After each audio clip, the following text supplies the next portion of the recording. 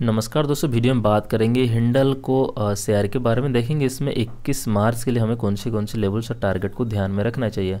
दोस्तों, वीडियो शुरू करने से पहले एक रिक्वेस्ट है अगर आप हमारे चैनल को पहले बार विज़िट कर रहे हो तो चैनल को सब्सक्राइब करके बेल आइकन दबाइए। और यहाँ से आप नोटिस कर सकते हो, स्टॉक आपको क्लियर लेकर डाउन ट्रेंड में कंटिन्यू करता हुआ देखने को मिल रहा है।